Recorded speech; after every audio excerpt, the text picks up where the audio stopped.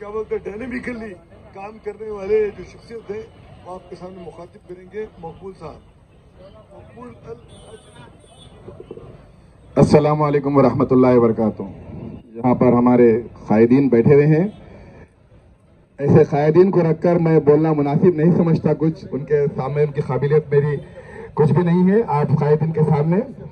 लेकिन मैं यही कहना चाहूँगा कि अभी कुछ देर पहले हमारे नईमुल्ला साहब फरमा रहे थे कि कुल्हाड़ी में लकड़ी का दस्ता ना होता तो लकड़ी काटने का रास्ता ना होता। आज हमारी वस्त की प्रॉपर्टीज़ की बर्बादी इसलिए हो रही है क्योंकि हमारे लोग उनमें उसमें मुलविस है।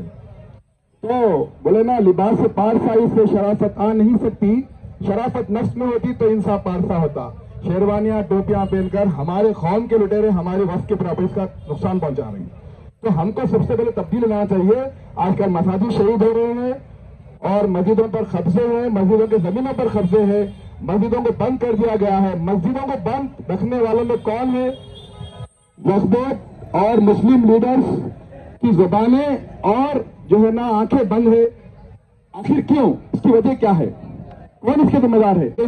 अगर क्यादत अच्छी होती तो आज हमारे वक्त की प्रॉपर्टीज़ का नुकसान नहीं होता था। अज़ीज़ बाजा साहब है, हमारे सिद्दीकी साहब नईमुल्ला साहब, हमारे उस्मान हाजी साहब, शिकारी साहब, ऐसे और कायदीन हमारे भाई मुनीर पटेल साहब, बहुत सारे अहमद अली भाई ऐसा धरने जो रख रहे हैं, हमारा एक ही मकसद है। उस्मान हाजी साहब, ये वक्त का तहफ़ करें तो उनके घर के लिए नहीं कर रही। ना अज़ीज़ बाजा साहब, ये सब कौम की खिदमत के लिए, हमारी नस्लों के लिए, आने वाली नस्लों के लिए जो है ना तहफ़ करके, उनके लिए जो है ना कुछ अफादा छोड़ के जाना चाह रहे हैं और जजाकल्ला खैर ने कुछ वक्त दिया गया, इसके लिए बहुत बहुत मशहूर हूँ। शुक्रिया असल वरहमल